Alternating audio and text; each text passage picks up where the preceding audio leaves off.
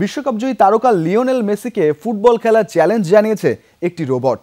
তবে এটি কোনো সাধারণ রোবট নয়, হুবহু মানুষের মতোই ফুটবল খেলতে পারে, নিয়ন্ত্রণ করতে পারে খুব জোরে আসা বল। কৃত্রিম বুদ্ধিমত্তার এই রোবটটির নাম রাখা হয়েছে আর্টেমিস, যা তৈরি হয়েছে যুক্তরাষ্ট্রের লস অ্যাঞ্জেলেসে।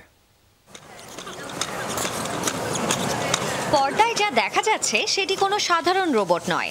দৈনন্দিন কাজের পাশাপাশি মানুষের মতোই অনায়াসে ফুটবল খেলতে পারে নতুন প্রযুক্তির এই রোবট। চার ফুট আট ইঞ্চি, পঁচাশি কেজি ওজনের এই কৃত্রিম বুদ্ধিমত্তার রোবটটির নাম রাখা হয়েছে আর্টেমিস। মূলত আর্টেমিসকে যে গুণটি অনন্য করেছে, সেটি হলো ফুটবলে লাথি মারার ক্ষমতা। এছাড়াও, এই রোবট ফুটবলারটি খুব জোরে আসা বলের ধাক্কাও সামলে নিতে পারে। একই সাথে খুব জোরে দৌড়াতেও পারে. Left foot. সম্প্রতি এই রোবটটিকে নিয়ে সংবাদ প্রকাশ করেছে রয়টার্স যার শিরোনামে ছিল সাবধান লিওনেল মেসি আর্টেমিস চলে এসেছে।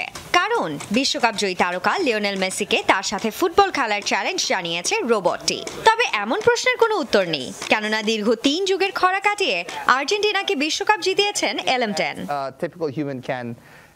অ্যাডভান্স টেকনোলজির এই রোবটটি তৈরি করেছে লস অ্যাঞ্জেলেসের ইউনিভার্সিটি অফ ক্যালিফোর্নিয়ার মেকানিক্যাল ইঞ্জিনিয়াররা তবে কেন তারা এই রোবটটিকে ফুটবল শেখাচ্ছেন? সেই বিষয়ে কথা বলেছেন UCL robotics and mechanisms laboratory পরিচালক ও অধ্যাপক ডেনিস হং।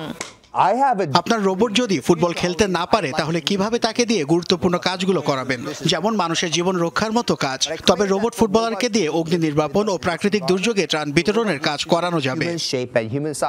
এদিকে আর্টেমিসের অ্যাক্টুয়েটর্স নিয়ে বেশ গর্বিত ইউসিএল এর বিজ্ঞানীরা। কেননা অ্যাক্টুয়েটর্স হলো রোবটের সেই অংশ যেটি নড়াচড়া করতে পারে। প্রাণীদেহের মাংসপেশির মতোই এর আচরণ।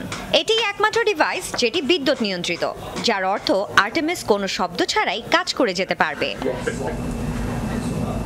আর্টেমিস এখন মাঠে নামতে প্রস্তুত। দাবি করেছেন মেকানিক্যাল ইঞ্জিনিয়াররা আগামী জুলাইতে ফ্রান্সের বোর্ডোতে অনুষ্ঠিতব্য রোবো কাপে নিজের ফুটবল শৈলী দেখাতে নামবে Artemis Sanjana Ivy, Jamuna sports.